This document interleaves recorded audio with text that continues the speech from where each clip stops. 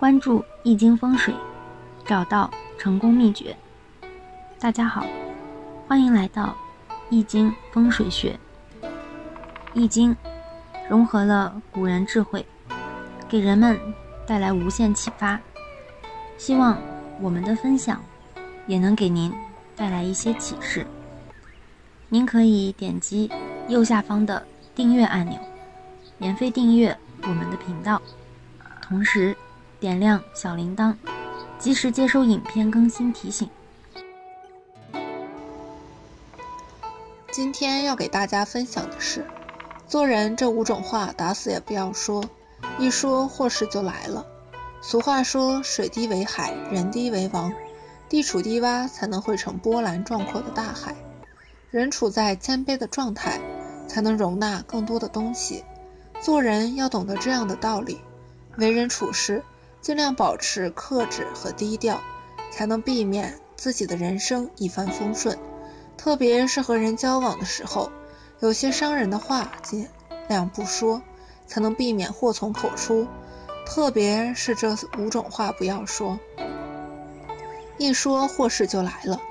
第一种话，威胁人的话。和人交往，我们常常会看到，有些人喜欢仗势欺人，在和人交往的时候。他们往往颐指气使，做人做事喜欢用威胁的口气。他们不管对方是什么身份，总是喜欢用威胁的口吻让对方服从。于是，当碰到不愿意服从的，就可能彼此产生矛盾，最后大打出手，甚至闹到了不可收拾的地步。所以，做人威胁人的话尽量不要说。第二种，狂妄自大的话，有些人仗着自己有身份、有地位。有权利，有资源，所以他们在生活中往往表现得不可一世。老子说：“强梁者不得其死，好战者必与其敌。”讲的就是一个人因为过于强横，当他们遇到更横的对方，或者被他欺凌到了忍无可忍的时候，反过来可能就会玩命反击。这时候过于强硬的人，估计连下跪的机会都没有了。所以做人低调点没有错，狂妄自大的话还是收回去吧。毕竟这个世间比我们强大无数的人多的是。第三种话，看不起人的话，有的人本身没有什么本事，却常常表现出看不起人的样子。这样的人往往祸所倚，因为一个人经常讲看不起人的话，会让他人自尊心受到伤害，同时因为被这个人看不起。他们也会时刻关注着这个人，一有机会，他们就可能用各种手段来反击。等这个人落魄了，给他落井下石的，往往就是他曾经看不起的人。所以做人要懂得给自己留条后路，不要动不动就瞧不起他人。第四种话，埋怨他人的话。人与人的交往很微妙。大部分的人交往都喜欢听好听的，做舒服的事情，这也是人之常情。但是有些人却天生一副苦瓜相，他们一遇到一点问题，就四处寻找他人的问题，而不从在我们身上找答案。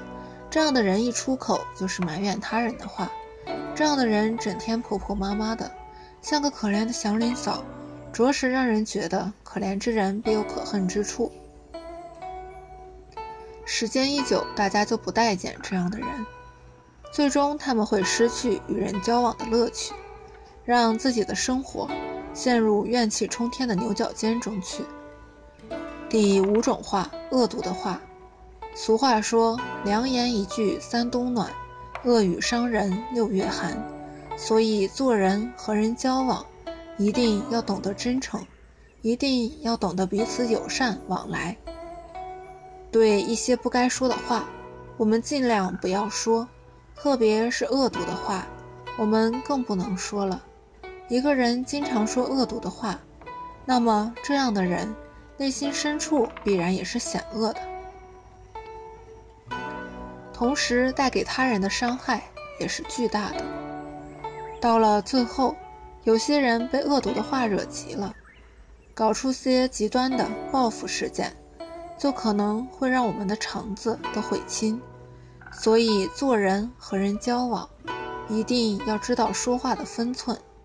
有些话只要不涉及人的尊严，只要对事不对人，即使是重话，估计对方也会接受。而有些话，即使只是含沙射影，但是如果涉及到了严重伤害对方的程度，那么对方所做出的反击，会给我们带来许多的祸端。朋友们，你们说是这样的吗？欢迎大家留言讨论，大家一起交流一下，为人处事究竟要怎样才能避免祸从口出呢？本期节目就分享到这里了。